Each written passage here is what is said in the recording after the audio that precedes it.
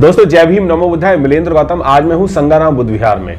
बुद्ध ने कहा था कि अप दीपो भव जी हाँ, अपना दीपक स्वयं बने। और अपना दीपक स्वयं बनने के लिए कई सारे बौद्ध भिक्षु बुद्ध शासन, बुद्ध काल में चौरासी हज़ार से भी ज़्यादा बौद्ध भिक्षु बने थे। और उसके बाद भी कई लाखों की तादाद में पूरे, पूरी दुनिया में बौद्ध भिक्षुओं का बनने का निरंतर कार्य जो है, वो जारी है। और वो कार्य जो है वो देश की अपनी और इस पृथ्वी की उन्नति के लिए है। और उसी उन्नति में एक बौद्ध भिक्षु 19 साल पहले बाल अवस्था में बने थे, जिनका नाम है भंते बीपी थीरो ज्योति जी। आज उनको 19 साल पूरे हो चुके हैं। आज उनसे कुछ उनके जीवन की कुछ बातें करते हैं। मेरे साथ हैं भंते बीपी थीरो ज्योति जी। भंते जी बंदामी आपको। और आपको 19 साल पूरे होने पर मेरी तरफ़ से बहुत बहुत मंगल कामनाएँ। जी बहुत बहुत साधुवाद भंते जी आप बाल अवस्था में बौद्ध भिक्षु बने थे श्रामरेर बने थे पहले फिर उसके बाद बौद्ध भिक्षु बने। आपने बाल अवस्था में ही क्यों बौद्ध भिक्षु बनना स्वीकार किया? देखिए मिले जी सबसे पहले तो मैं आपके टीवी चैनल का हम्म, बहुत बहुत साधुवाद करना चाहूँगा। धन्यवाद जी। टॉप पिचासी का और यूट्यूब यू टीवी चैनल का। साथ में प्रज्ञा दर्पण न्यूज़ का। जी। जहाँ तक सवाल है बाल अवस्था में तो जो हमारे पिताजी के मामा जी थे भदन दमथीरो महाथेरो जी वो अलीगढ़ से रहने वाले थे और वो भी भिक्षु थे। हमने उन्हीं से प्रेरित होकर के चीवर मतलब लेने की प्रेरणा हमको मिली। जी। और 2002 में हमने 19 यानी 21 अक्टूबर को 2021 सितंबर को 2002 में हमने चीवर लिया। और पहले इसको श्रामनेर कहा जाता है। हमने श्रा- श्रामनेर के रूप में प्रवर्जा ग्रहण की थी।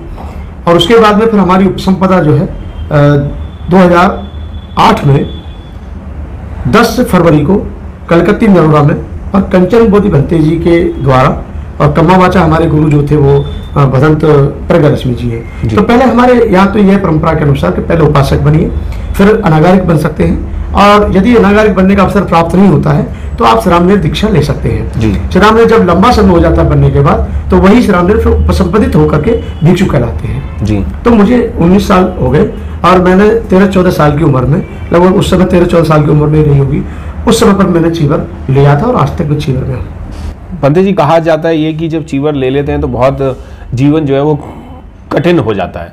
और कुछ लोग ये भी कहते हैं कि चीवर लेने के बाद जीवन जो है वो बहुत ज़्यादा सरलता में आ जाता है। सही कहा। देखिए जो व्यक्ति ये मानकर के चीवर धारण करता है कि कठिनाई है तो उसको कठिनाई ही देखने को मिलती है। और कोई भिक्षु ये मान ले कि नहीं मुझे चीवर लेकर के जिस कारण से मैंने चीवर लिया है वो कार्य मुझे पूरा करना है तो वो अपनी ज़िम्मेदारी समझ कर अगर भिक्षु काम करे तो मैं समझता हूँ कठिनाई नहीं आती है।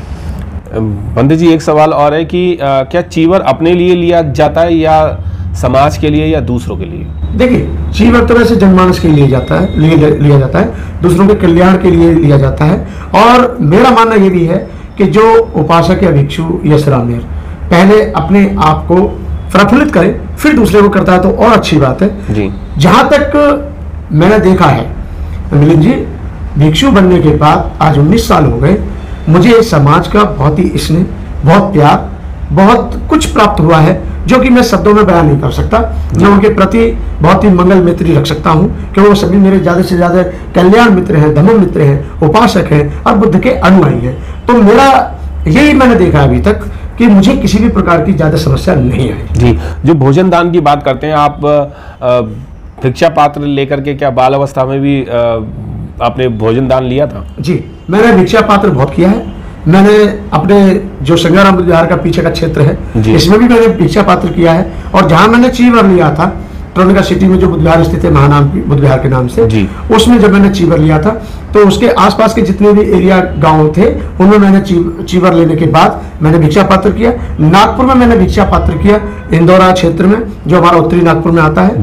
और इसके साथ साथ बहुत सारे ग्रामीण क्षेत्रों में मैंने भिक्षा पात्र करके भोजन प्राप्त किया है। नागपुर की तो बात अगर हम छोड़ दें तो अच्छा रहेगा क्योंकि नागपुर में तो सब लोग जागरूक हैं। बाकी और जो क्षेत्र हैं उस क्षेत्रों में भिक्षा पात्र लेने में आपको कठिनाइयाँ आती नहीं क्या? हाँ बिल्कुल क्योंकि जो लोगों के पास है वो वही देते हैं। जब लोगों के पास जितना ज्ञान होता है वो ज्ञान देते हैं। जितनी श्रद्धा होती है उतनी श्रद्धा देते हैं। जितनी उनकी जानकारी होती है वो जानकारी देते। हैं। तो लोग अज्ञान है बहुत से। जब हम मुस्लिम एरियाओं में जाएँगे तो पहली बार देखेंगे कि ये कैसे साधु हैं ना चावल ले रहे हैं ना पैसे ले रहे हैं ना पैसे मांग रहे हैं। ये भिक्षा पात्र में सिर्फ़ वो भी भिक्षा पात्र हाथ में लिए शांत भाव से खड़े हुए हैं।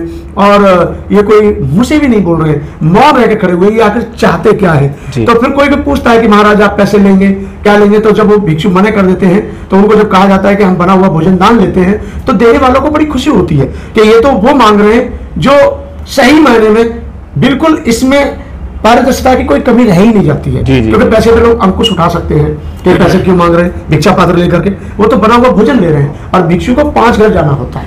और तीन पैर से ज़्यादा दे, ज़्यादा देख नहीं सकते हैं और पैरों में चप्पल नहीं होनी चाहिए उस टाइम पर। और जब वो भिक्षा पात्र करते हैं तो बड़े शांत भाव के साथ उसे खड़ा रहना होता है। और जो समझदार उपासक होते हैं या ना समझ भी होते हैं वो भी उसमें बना हुआ भोजन दान देते हैं। और बड़ा अच्छा लगता है। कठिनाई आती ज़रूर है परंतु मैं समझता हूँ जब उनको ज्ञात हो जाता है तो वो लोग जागरूक होते चले जाते हैं। मैंने ये भी सुना है कि जो भी आप जो भोजन लेते हैं आप तो वो क्या पूरे दिन के लिए होता है या एक टाइम के लिए होता है? या औरों औरों के लिए भी होता है और और बहुत भिक्षुओं के लिए भी होता है? ये वैसे ज़रूरी नहीं है इसमें यह है कि भिक्षु पाँच घरों में भिक्षा पात्र करने गए हैं। यदि उनकी पूर्ति एक घर में से ही हो जाती है तो ज़रूरी नहीं कि वो चार घर भी जाएँ।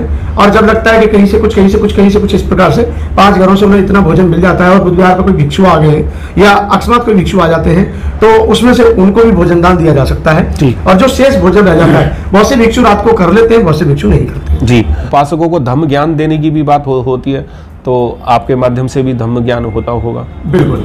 भोजन दान करने की जहाँ तक भिक्षा पात्र की बात है पहले परंपरा के अनुसार ये होता था कि जब एक भिक्षु ग्रामीण क्षेत्रों में जाते हैं भिक्षा पात्र करने के लिए और भिक्षा पात्र करने के बाद जब वो बुधवार पर लौटते हैं तो भोजन करने के बाद जो उपासक उपस्थित होते हैं समय पर उन उपासकों को धम्मदेश में दी जाती है। और अब भिक्षा पात्र थोड़ा कम हो गया है क्योंकि दोनों तरफ़ से हुआ है। उपासक कहते हैं नहीं नहीं बनते जी अब भिक्षा करने की ज़रूरत नहीं है क्योंकि अब हमारे उपासक संपन्न हो चुके हैं। पहले हज़ारों साल पहले की स्थिति और थी आज की परिस्थिति दूसरी है। दूसरा मेरा मानना है कि हम परंपरा को जीवित रखने के लिए हमें भिक्षा पात्र करना ही चाहिए। हम पूरे महीना भले ही ना करें लेकिन महीने में कम से कम पाँच दिन भिक्षा पात्र करना ही चाहिए जिससे कि समाज में एक अवेयरनेस पैदा होती चली जाती है। बिल्कुल। 19 साल के इस जीवन में चीवर जो आपने लिया बाद भिक्षु बने इसमें कठिनाइयाँ आपको क्या क्या आई?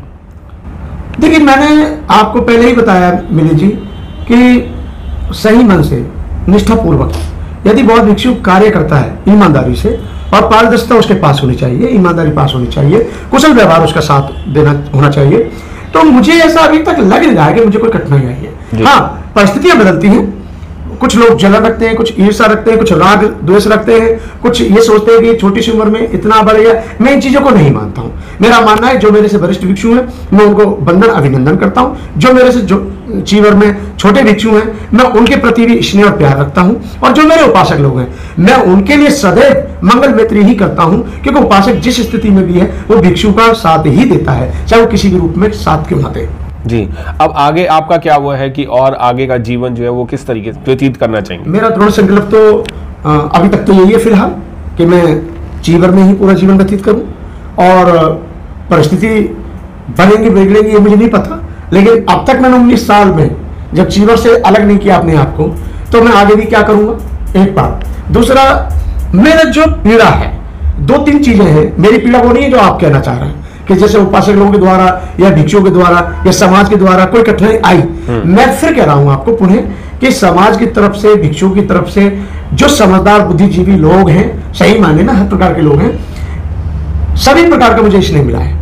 लेकिन मेरा जो प्रथम कर्तव्य था और जो मैंने देखा महसूस किया भिक्षुओं के बीच में गया उपासकों के बीच में गया एक बौद्ध भिक्षुओं का प्रशिक्षण केंद्र। जैसे लामाओं में गुरुकुल है जैसे थाईलैंड के बौद्ध भिक्षुओं में हज़ारों भिक्षु हैं एक एक मोनिस्ट्री में रह करके पढ़ाई करते हैं, दीक्षा लेते हैं, शिक्षा लेते हैं। ऐसे लामा चार चार, पाँच पाँच हज़ार, दस दस हज़ार बन करके एक साथ, दस दस हज़ार, पाँच पाँच हज़ार बन करके एक साथ रह सकते हैं। मैं वो चीज़ें नहीं देख पा रहा हूँ कि हमारे भारत में, खास तौर पे उत्तरी भारत में या दक्षिण भारत में जो हमारे बौद्ध विहार हैं या बाबा साहब, डॉक्टर अंबेडकर के बाद जो बौद्ध भिक्षु बने हैं या उपासक बने हैं, उनमें आपसी तालमेल नहीं है। जबकि अरुणाचल के उपासक और अरुणाचल के बौद्ध भिक्षु मिलकर रहते हैं।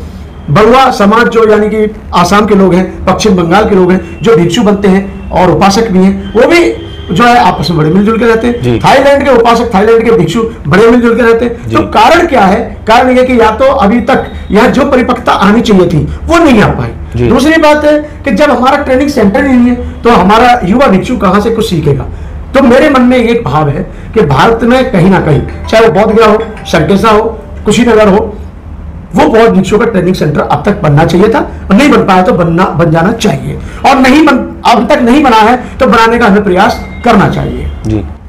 आप पूरे देश में घूमते हैं और देश के बाहर भी आप कई जगह गए हैं।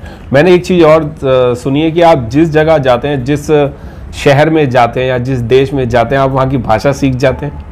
ये तो कितनी भाषाओं का ज्ञान है आपको? ऐसा कुछ नहीं है लेकिन हाँ बस अपना काम चलाने के लिए हम कुछ बोल लेते हैं जी। और कुछ समझ लेते हैं। जी। और मैं समझता हूँ कि विदेश में जाइए आप कहीं भी जाइए और जब आप किसी से कुछ सीखना चाहें तो कुछ ना कुछ सीख ही जाते हैं। जी। जब आप ये सोचेंगे कि मुझे कुछ सीखना नहीं है तो नहीं सीखोगे। अंदाजन कितनी भाषाएँ बोल लेते हैं आप। मराठी में तो मेरा अच्छा काम चल जाता है। जी। मराठी में मेरा अच्छा काम चल जाता है। और थाई प्रैक्टिस कर रहा हूँ थोड़ी थोड़ी आप हैं यूपी के पर मराठी बहुत अच्छी बोल लेते हैं आप। हाँ ये महाराष्ट्र के लोगों का प्यार है। जी हरियाणवी महाराष्ट्र भी मैंने कल रात को सुनी थी आप बहुत अच्छी बोल रहे थे। प्रयास करता हूँ कुछ ना कुछ सीख जाऊँ। जी। अब मैं तो कुछ भी नहीं राहुल संस्कृति बनते जी तो बहुत बड़ा पैमाने पर भ्रमण किया है। आनंद कौशल्यान जी ने काम किया देश में ऐसा नहीं काम नहीं हुआ बहुत काम किया और उनको तो छत्तीस भाषाओं का ज्ञान था राहुल संस्कृत्यान जी को। यदि हम भी एक दो भाषा और सीख जाते हैं जितनी हमारे काम चल सकता है और सीख जाते हैं तो अच्छी बात है सीखना चाहिए। लेकिन मैं यही कहूँगा आपसे फिर भी देश में हमारे बौद्ध भिक्षुओं को और उपासकों को ज़िम्मेदारी के साथ काम करेंगे तो कभी महसूस नहीं होगा कि कोई कठिनाई आ रही है। और कठिनाई तो होती ही दूर करने के लिए है। 19 साल बौद्ध भिक्षु बने हुए हो गए कैसा लग रहा है? बहुत अच्छा लग रहा है। मुझे बहुत ही अपने आप पर गर्व महसूस होता है कि मुझे भिक्षु बनने का अवसर प्राप्त हुआ और मुझे कार्य करने का मौका मिला और मेरे उपासक लोगों ने सभी समुदाय के लोग भी हैं और मैं ये कहूँगा सभी तबके के लोग हैं। मतलब संपन्न सक्षम और निर्धन। सभी प्रकार के लोग। मेरा सभी के लिए बहुत स्नेह और प्यार रहता है और मैं सभी के बीच में जाता हूँ और खास तौर पर झोपड़ी झुग्गी और ग्रामीण क्षेत्रों में मेरा ज़्यादा काम रहा है। लेकिन लोगों का मानना यह है वैसे कि भट्टे थीरो ज्योति कुछ सक्षम लोगों में जाते हैं। ऐसा नहीं है। देखिए सक्षम लोगों के बीच में जाने का मतलब है कि उन लोगों से सहयोग लेना है सहयोग दे, देना है। एक दूसरे के काम भी होते हैं वो और एक दूसरे की मदद होती है। मदद भी करा और, और ये कहा जाए कि पढ़े लिखे अधिकारियों ने धोखा दिया। वो जब कोई परिस्थिति नहीं होगी जब बाबा साहब अंबेडकर ने कहा था। लेकिन आज के समय में मैं ये कह सकता हूँ कि हमारे पढ़े लिखे लोग बुद्धिजीवी लोग समाज का पूर्ण रूप से साथ दे रहे हैं। जी। देश के युवाओं के लिए और बुद्धिजीवी लोगों के लिए बुद्धिस्ट लोगों के लिए कुछ कहना चाहेंगे आप? बिल्कुल कहना चाहते हैं। मैं तो यही कहना चाहूँगा अपने आप लोगों के चैनल के माध्यम से कि समाज में जो बुराइयाँ फैल रही हैं, कुरीतियाँ फैल रही हैं, उनको खत्म करने के लिए हमें अपने अपनी जिम्मेदारियों को समझना होगा। हमें अपनी ज़िम्मेदारी का एहसास स्वयं को करना चाहिए और हम अपनी गलतियों को दूसरे के ऊपर थोप, ना थोपें, दूसरे, अपनी कमियों को दूसरे के ऊपर ना थोपें और एक दूसरे की टांग पकड़ खींचना बंद करें। संगठन आप एक नहीं, एक हज़ार बनाइए। लेकिन संगठनों का उद्देश्य होना चाहिए कि हमारे समाज में किसी भी प्रकार की प्रकार की कोई भ्रांति या कुरीति नहीं फैलनी चाहिए और ना ही किसी बुराई को जन्म मिलना चाहिए। मैं यही कहना चाहूँगा युवा साथियों से और बौद्ध भिक्षुओं से विनम्र निवेदन है, जो युवा है बड़े बूढ़े बुज़ुर्ग, उनसे मेरी कोई शिकायत नहीं है। लेकिन युवा भिक्षुओं से मेरा कहना है कि वो ज़्यादा से ज़्यादा भ्रमण करें और भ्रमण करने से बहुत बहुत कुछ प्राप्त होता है। और मुझे आज भी महसूस हो रहा है कि 19 साल कब आए और कब चले गए, मुझे खुद को पता नहीं चला है। मुझे इतना प्रेम, मुझे इतना स्नेह मुझे इतना प्यार, भाईचारा इतना मिला है, सहयोग मिला है। मैंने बड़े से कार्यक्रम लेकर, छोटे से लेकर, बड़े तक कार्यक्रम किए मेरे उपासक लोगों ने जो भी मैंने जब भी उनके सामने कोई बात रखी, उन्होंने उन बातों का समर्थन किया और प्रेम पूर्वक जितना उनसे बना साथी सहयोग किया। जी बहुत बहुत धन्यवाद बंते जी। हमारे साथ थे Bhante B, B P Thero Jyoti ji. जिन्होंने अपने 19 साल पूरे आज कर लिए हैं और उन्होंने अपना 19 साल का कार्यकाल बताया कि किस तरीके से उन्होंने जीवन काटा और कितने लोगों से मिले और कितने कितने देशों में गए कितने शहरों में गए और कितनी भाषाएँ बोली। और बुद्ध का ज्ञान भी वो पूरी तरीके से ले रहे हैं। अभी बुद्ध का ज्ञान तो बहुत बड़ा है और हम सभी उस, उस ज्ञान को सीखने की और उस मार्ग पर चलने की कोशिश कर रहे हैं। भंते जी को पुनः 19 साल पूरे होने पर आपको बहुत बहुत मंगल